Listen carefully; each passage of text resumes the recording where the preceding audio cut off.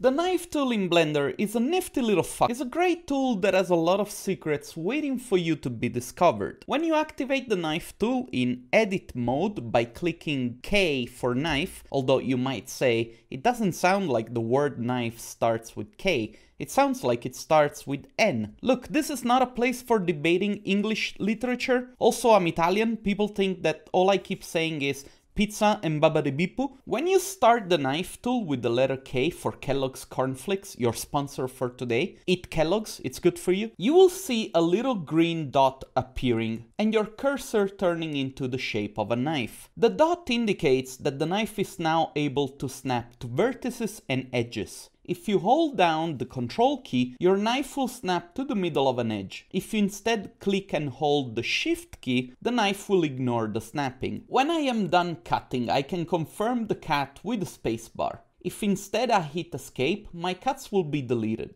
As you can see, I have cut the geometry only on one side. If I were to hit the Z key once I'm in knife mode, the knife will now cut right through the whole geometry. Wow, oh my god, this is crazy. Another thing, if you click the C key whilst in knife mode, the knife will snap to a 45 degrees increment. This is great for adding some nice exact details to your geometry. You now have great and deep knowledge of the knife tool in Blender. With great powers comes great responsibility. The greatest responsibility you have right now is for you to like this video and subscribe.